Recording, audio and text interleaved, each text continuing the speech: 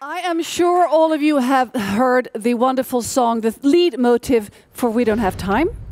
It is created by CJ Palmer. Um, and we now are we're going to show you and let you listen to, and maybe even move to, if you want to, to the cover, a Nigerian cover of the song We Don't Have Time. And with us here to introduce the song, we have Nasreen Al Amin.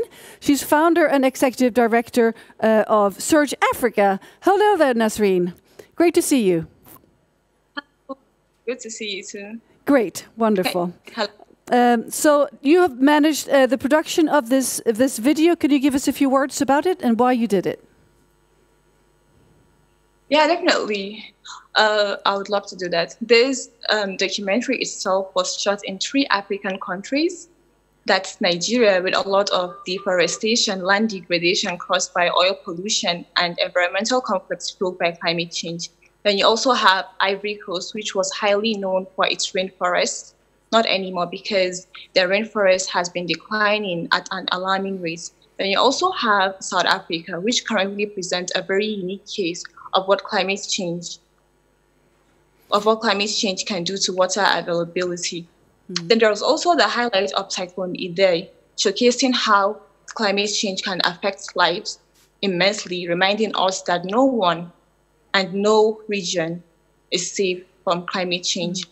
Do, um, doing this documentary, we were very peculiar with the content to be put out there.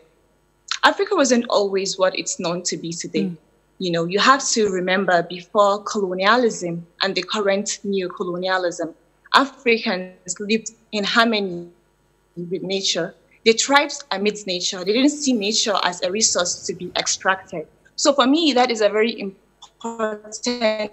factor to be acknowledged. So then this documentary takes you on a very long ride from beautiful mountain tops to biodiversity to deforestation, drought, and many other factors of climate change. Um, this documentary itself is mostly focused on environmental impact of climate change, but it also captures the dangers of where Africa is headed. Mm. So this is the what we have in the documentary. And it is such an honor, and I'm very excited to present to you all the Africa music version of We Don't Have Time theme song. Wonderful. Well, let it roll, and thank you for doing this for us. Thank you.